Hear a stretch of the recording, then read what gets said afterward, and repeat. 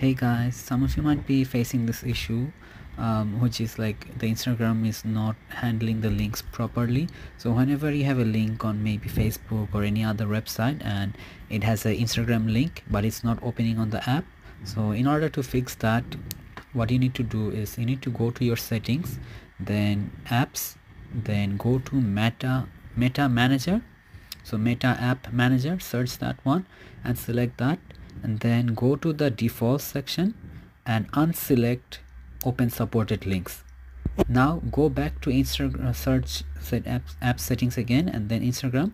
Now go to defaults and then select open supported links and go inside the links and then select www.instagram.com and this will work again. So this will open the links directly on Instagram app again as you can see on the screen. Thank you, I found it on Reddit.